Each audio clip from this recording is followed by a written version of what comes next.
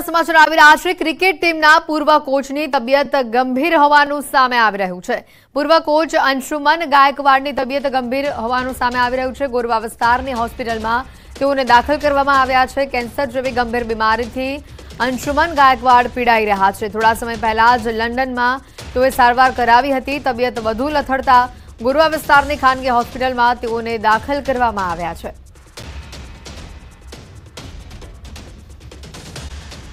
મોરબી દુર્ઘટના બાદ હાઈકોર્ટે આદેશ કર્યો હતો કે પાલિકાના હદમાં આવતા બ્રિજનું વર્ષમાં બે વાર ઇન્સ્પેક્શન કરવાનું રહેશે અને રિપોર્ટ આપવાનો રહેશે. ત્યારે અમદાવાદ શહેરમાં પૂર્વ વિસ્તારમાં આવેલા ફ્લાયઓવર બ્રિજ અને અંડરપાસનું રિપેરિંગનો રિપોર્ટ સામે આવ્યો છે. પૂર્વ વિસ્તારના સાડત્રીસ બ્રિજનું સમારકામ કરવાનો રિપોર્ટ આપ્યો છે. સાડત્રીસ બ્રિજમાં parapet wall curbs railing, beam column અને સ્લેબ બોટમમાં સ્પેલિંગ જેવી માઇનોર ક્ષતિઓ જોવા મળી રહી છે. જરૂરિયાત મુજબ રિપેરિંગ તેમજ રિનોવેશનની કામગીરી થશે. અમદાવાદ શહેરમાં કુલ અઠ્યાસી બ્રિજ આવેલા છે. Pankaj M Patel consultant private limited તથા Geo design and research private limited consulting એજન્સીએ કુલ ઓગણસિત્તેર બ્રિજનું ઇન્સ્પેક્શન કર્યું હતું. અમદાવાદ શહેરના સાબરમતી નદીના પશ્ચિમ ભાગમાં કરવામાં આવેલા બત્રીસ બ્રિજ માટે પણ જરૂરિયાત મુજબ રિપેરિંગની કામગીરી માટે અલગથી ટેન્ડર મંગાવેલા છે.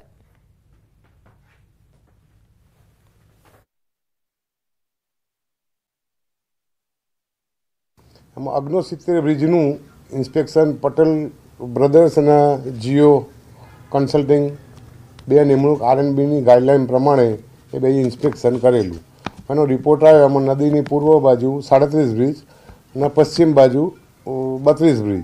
એમાં નદીની સાડત્રીસ બાજુનું ટેન્ડર પડી ગયું, ટેન્ડર મંજૂર બી થઈ ગયું અને એનું સ્પેસિફિકેશન બી રિપેરિંગના આવી ગયા છે. અમદાવાદના પૂર્વ વિસ્તારના સાડત્રીસ બ્રિજ એવા છે કે જે બ્રિજ છે રિપેરિંગ કામ છે તે માંગી રહ્યું છે. આ એક અહેવાલ છે તે બહાર આવ્યો છે મહાનગરપાલિકાના રોડ એન્ડ બિલ્ડિંગ વિભાગની અંદર. જે રીતે મોરબીમાં દુર્ઘટના થઈ ત્યારબાદ ગુજરાત હાઈકોર્ટે આદેશ આપ્યો હતો કે મહાનગરપાલિકાના અંડર આવતા જેટલા પણ ઓવર ઓવરબ્રિજો હોય કે પછી અંડરપાસ હોય, એ તમામનું જે છે ચેકિંગ કરવાનું રહેશે. તેને લઈને જ અંતર્ગત જ ચેકિંગ હાથ ધરાયું છે ને તેની અંદર અમદાવાદ શહેરના પૂર્વ વિસ્તારના સાત્રીસ બ્રિજ એવા છે કે જે બ્રિજ ક્યાંક ને ક્યાંક સમયે ક્યાંક ને ક્યાંક તેને સમારકામની જરૂર છે, તેના મેન્ટેનન્સની જરૂર છે, તે કા અહેવાલ છે, રિપોર્ટ છે, તે પ્રસારિત થયો છે. ચોક્કસ માની શકાય કે અમદાવાદના પૂર્વ વિસ્તારના સાડત્રીસ બ્રિજ એવા છે કે હજુ પણ તે રિપેરિંગ કામ છે તે માંગી રહ્યું છે. કેમેરામેન સૈનિક મહેતા સાથે પ્રણવ પટેલ, ન્યૂઝ એટીન, અમદાવાદ. ચોમાસાનો વરસાદી માહોલ ચાલી રહ્યો છે જેને લઈને ભાવનગર શહેરમાં ઝાડા ઉલટીના કેસીસમાં પણ વધારો જોવા મળી રહ્યો છે. શહેરમાં બે મહિનામાં ઝાડા ઉલટીના પંદરસો દર્દીઓનો વધારો થયો છે, જ્યારે ત્રણ મહિનામાં તાવના સત્તરસો દર્દીઓ નોંધાયા છે. શરદી, ઉધરસના પણ કેસીસ નોંધાઈ રહ્યા છે. ભાવનગર શહેરની સરટી હોસ્પિટલમાં છેલ્લા ત્રણ મહિનામાં જ ઝાડા ઉલટીના ત્રણસો કેસ નોંધાતા ભારે ફફડાટ ફેલાયો છે. સ્થાનિક ડોક્ટરોના જણાવ્યા અનુસાર ચોમાસાની ઋતુમાં લોકો યોગ્ય ખોરાક અને પાણીમાં ધ્યાન રાખવું જોઈએ. અશુદ્ધ પાણી પીવાથી અને ખોરાક આરોગવાથી કોલેરા થઈ પણ શકે છે. તાવના દર્દીઓમાં પણ રાફડો ફેલાયેલો જોવા મળી રહ્યું છે. સોળસો જેટલા દર્દીઓને તાવ ચડતા તેઓને સારવાર કરાવવાની ફરજ પડી રહી છે. હોસ્પિટલમાં દર્દીઓની સંખ્યામાં પણ સતત વધારો જોવા મળી રહ્યો છે. પાણીજન્ય રોગો મેલેરિયા છે, કોલેરા છે ઝાડા ઉલટીના કેસો, તાવના કેસો વધારે આવે છે. જેમાં મુખ્ય કારણ પાણીનો જે ગંદુ પાણી, વરસાદનું પાણી મિક્સ વાપરતા હોય છે લોકો. અને લોકોના ઘરની આજુબાજુ જે ગંદકી હોય છે, જે જેના કારણે આ રોગો વધતા હોય છે. અમારે અહીંથી પણ તમારા એરિયામાં જ્યાં પાણી ભરાય છે, ત્યાં અમે દવાનો છંટકાવ કરી જશું. એ સિવાય આ પાણીમાં ગટરનું પાણી ભળી જતું હોય છે, પીવાના પાણીમાં, તો ઝાડા ઉલટીના ને એવા કેસોમાં, એવા એવા કેસો પણ આવતા હોય છે. તો જો તમારા, તમને એવા કેસો આજુબાજુમાં કે તમારા ઘરમાં જોવા મળે, તો તાત્કાલિક તમે દવાખાનાનો સંપર્ક કરો. ડેરી દ્વારા દૂધના ભાવમાં વધારો કરવામાં આવે તેવી માંગ છેલ્લા કેટલાય દિવસ સુધી પશુપાલકો કરી રહ્યા છે. ત્યારે હવે અરવલ્લીના મોડાસા તાલુકાના ગામડાઓમાં પણ પશુપાલકોએ બાયો ચડાવી છે. પશુપાલકો કહી રહ્યા છે કે તાજેતરમાં જે સાબર ડેરીએ જે ભાવ વધારો કર્યો છે તે ઘણો ઓછો છે. વધુમાં કહ્યું કે આ મોંઘવારીમાં ઢોર ઢાંખરને ખવડાવવા માટેનો ઘાસચારો મોંઘો થયો છે. તેથી જ પશુપાલકો યોગ્ય ભાવ વધારાની માંગ કરી છે. તો બીજી તરફ દૂધ ઉત્પાદક મંડળીના સેક્રેટરીનું કહેવું છે કે ડેરીની ચૂંટણીની અંદર અધિકારીઓની ચૂંટણી કરાઈ નથી અને જેના કારણે આ ભાવ વધારો અટક્યો છે.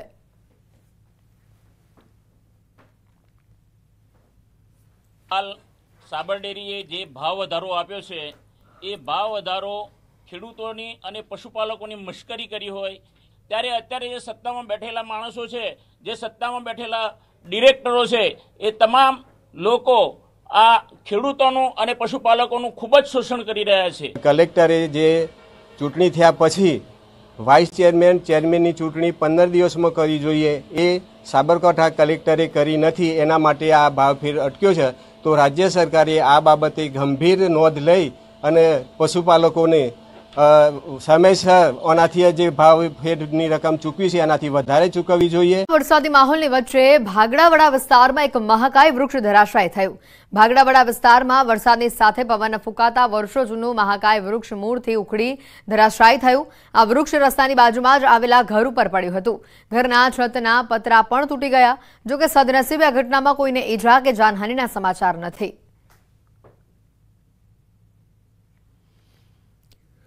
ભાગવડા વિસ્તારમાં મહાકાય વૃક્ષ ધરાશાયી થયાના આ દ્રશ્યો સામે આવે છે. જોઈ શકાય છે કેટલી મોટી સંખ્યામાં આ વૃક્ષની ડાળીઓ આ મકાન ઉપર પડી છે અને જેના કારણે મકાનને નુકસાન થયું છે.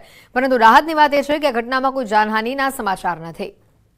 જિલ્લાઓમાં મેઘમહેર જોવા મળી રહી છે, પરંતુ પાટણ જિલ્લામાં હજી પણ મેઘરાજા મન મૂકીને વરસ્યા નથી. પાટણ જિલ્લાના કેટલાક તાલુકામાં કાગડોળે મેઘરાજાની રાહ જોવામાં આવી રહી છે. ખેડૂતોનું કહેવું છે કે અત્યાર સુધી પંદરથી સત્તર ટકા વરસાદ નોંધાયો છે પંદરથી વીસ ટકા વાવેતર પણ કરાયું છે. પરંતુ જોઈએ તેવો વરસાદ હજી સુધી વરસ્યો નથી. વાદળોની સાથે સાથે ખેડૂતોને વરસાદની આશા પણ બંધાય છે. પરંતુ જો મેઘરાજા જાણે હાથ તાળી આપી રહ્યા હોય, તેમ મન મૂકીને વરસતા નથી. ખેડૂતોમાં ખેડૂતોના મનમાં દુષ્કાળની ભીતિ પણ સેવાઈ રહી છે. ત્યારે હેક્ટર દીઠ વાવેતરમાં વીસથી પચીસ હજારનો ખર્ચો થતો હોય છે. ત્યારે જો આગામી ચારથી પાંચ દિવસમાં આ વરસાદ ન આવ્યો, તો ખેડૂતોને કરેલો તમામ ખર્ચો માથે પડે તેવી ભીતિ છે. બધા પાકને નુકસાન જ છે. વરસાદ છે નહીં, બરાબર? અને હજુ જો પાંચ દિવસ ખીચ- ખેંચાય વરસાદ, તો બાદરી બધું સુકાઈ જાય એમ છે. ખર્ચા તો બિયારણ, ખાતર પાસે એની દવાઓ. અમને આ વરસાદ ના થાય તો બધી વાત જ છે વાવણી લાયક વરસાદ એમાં સમી રાધનપુર સાતલપુર આ ત્રણ ચાર તાલુકામાં વરસાદની મોટી ઘટ છે વીસ ટકા વાવેતર શું? પણ વાવેતર રહેવાનું નથી અને પાણીનો કોઈ પણ સંજોગ ચાય છે નહીં. જો વરસાદ વાદળ થાય છાંટા આવી વેખાઈ જાય. જો વરસાદ બાપોજી થાય તો તો આ ખેડૂત બચી શકશે. ન કે મોટો દુષ્કાળ છે. ટકા જમીનમાં વાવેતર થઈ ગયું છે. જુવાર ગુવાર અડદ પણ જો હવે વરસાદ ન થાય, તો બધો પાક નિષ્ફળ જાય એવું પોઝિશન છે. તો ખેડૂતોને લગભગ હેક્ટરે પચીસ હજારનો ખર્ચો કરી અને આ મોંઘા ભાવના બિયારણ વાવ્યા છે. સત્વરે વરસાદ થાય તો બરાબર છે નકે કોઈ આ પાણીનો વિકલ્પ નથી. વરસાદી માહોલ જામ્યો છે. ઠેર ઠેર વરસાદ પડી રહ્યો છે, પરંતુ કચ્છ જિલ્લામાં વાવણી લાયક વરસાદ ન પડતા ખેડૂતો ચિંતિત બન્યા છે. કચ્છ જિલ્લામાં હાલ માત્ર ત્રીસ જેટલી જ વાવણી થઈ છે. જો આગામી દિવસોમાં વરસાદ નહીં આવે તો ધરતીપુત્રોની હાલત કફોડી બનશે.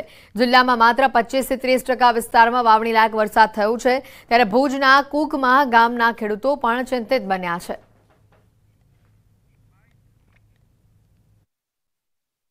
અત્યારે કચ્છમાં વરસાદ ખરેખર જો લાવણી, વાવણી લાયક વરસાદ બિલકુલ જેને કહેવાય નથી પડ્યો ખરેખર સચરાચાર વરસાદ કહેવાય જેને કે ચારે દિશામાં એક સરખો જ્યારે વરસાદ પડતો હોય અને જ્યારે વાવણી લાયક જે વરસાદ આપણે કહી શકીએ એ અત્યારે નથી પડ્યો. કાંઠાળ વિસ્તાર જે છે કચ્છનો, એમાં વરસાદ કદાચ પૂરતો થઈ ગયો છે, પણ સેન્ટર એરિયા, ભુજ તાલુકો અંજા તાલુકો કે આ વચના, વચનો ગાળો જે છે જગ્યા, એનામાં વરસાદ થયો છે ઓછો ને.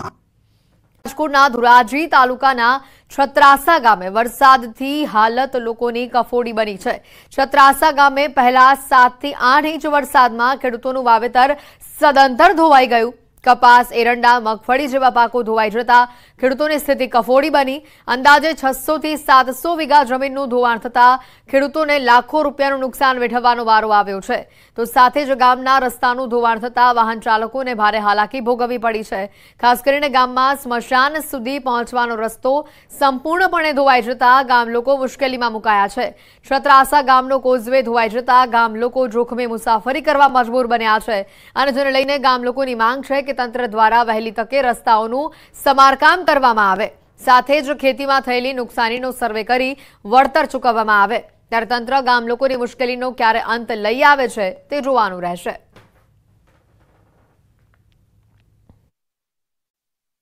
થી દોઢ કલાકની અંદર જે સાતથી આઠ ઇંચ જેવો વરસાદ વળ્યો, એને કારણે સબ બધા ખેતરો ધોવાઈ ગયા અને તમામ માટી અને પાક પણ નિષ્ફળ ગયો જે વાવેતર કરેલું હતું, કપાસનું, સોયાબીન, મગફળી જેવા વાવેતરો બધા સંપૂર્ણપણે નિષ્ફળ વયા ગયા ધોવાઈ રસ્તા પણ ખરાબ છે. કોજવે, પારા બધું તૂટી ગયું.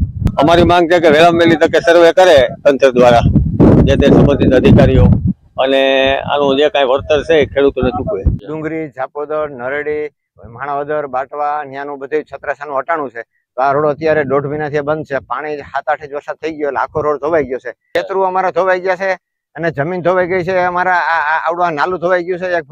પાસે રસ્તો છે, એ ધોવાઈ ગયો છે. જે રીતે મેઘરાજાએ મેર કરી હતી, જે તોફાની બેટિંગ કરી હતી એટલે વાત કરી કે સૌરાષ્ટ્ર અંદર જે રીતે વરસાદ વસ્યો હતો, ક્યાંક ધીમી ધારે, ક્યાંક ધોધમાર વરસાદ થતો નદી નાળાઓ છે તે અત્યારે ઓવરફ્લો થઈ ગયા. તેની વાત કરીએ ધોરાઈ તાલુકાના છત્રાસા ગામની, છત્રાસા ગામના સીધા આપણે દ્રશ્યો બતાવીશ કે આ ચેક ડેમના છે. જે રીતે સાત ઇંચ વરસાદ પડ્યો હતો તેને લઈને ચેક ડેમ છે. તેના ઉપરથી પાણી વહેતું હતું અને પાણીના ફોર્સને લઈને તે પુલ છે તે બિસ્માર હાલતમાં પુલનો ધોવાણ થઈ ગયો હતો. આ દસ ગામને જોડતો આ પુલ છે. પુલ અત્યારે બિસ્માર હાલતમાં છે. ખેડૂત પોતાના ખેતરમાં નથી જઈ શકતો. શમશાન જવા માટેનું માત્ર એક પ્રથમ રસ્તો છે ત્યાંથી જવા માટે શમશાન જવા માટે લોકોને પરેશાનીનો સામનો કરવો પડશે હજારો વીઘા ખેતર છે, ખેતર ધોવાણ થઈ ગયો હતો. જે રીતે વરસાદ થયો હતો તેને લઈને પુલને પારાપાર મુશ્કેલીનો સામનો કરવો પડશે લોકોને આઠથી દસ કિલોમીટર ફરીને જવા પડશે લોકોને એવી માંગ છે તાત્કાલિક ધોને આ પુલનો સમારકાર કરવામાં આવે તેને તેને લઈને લોકો એવી માંગ કરી રહ્યા છે. મુના પગાલી ન્યૂઝીલેન્ડ ગુજરાતી, ચતરાસા, ધોરાજી. દેશમાં ગુજરાતી યુવકને બંધક બનાવાયોનો દાવો કરવામાં આવી રહ્યો છે. રાજકોટના યુવકના પરિવારજનોએ આ દાવો કર્યો છે. દક્ષિણ આફ્રિકાના કિન્સાસામાં યુવકને મહિનાથી બંધક બનાવવામાં આવ્યો છે. પરિવારજનોએ આક્ષેપ લગાવ્યો છે. પરિવાર પાસે બાવીસ લાખની માંગણી કરાઈ હોવાનો પણ દાવો કરવામાં આવ્યો છે.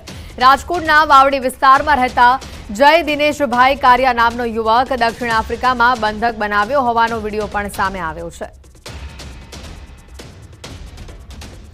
આ મહત્વના સમાચાર આવી રહ્યા છે. રાજકોટના યુવકના પરિવારજનોનો આ મોટો આક્ષેપ સામે આવ્યો છે. મહિનાથી યુવકને બંધક બનાવ્યાનો પરિવારજનો દ્વારા આક્ષેપ કરવામાં આવ્યો છે. સાથે બાવીસ લાખની માંગણી કરવામાં આવી હોવાનો પણ પરિવારજનો આરોપ લગાવી રહ્યા છે. ઘટનાનો આ વીડિયો પણ સામે આવ્યો છે. બંધક બનાવ્યાનો આ વીડિયો સામે આવ્યો છે.